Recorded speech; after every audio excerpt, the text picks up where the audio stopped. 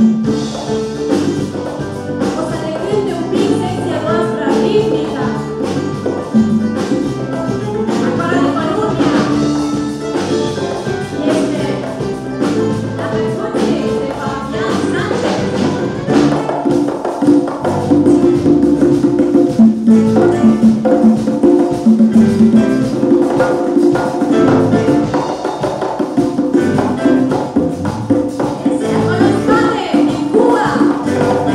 partículas nubes, nubes de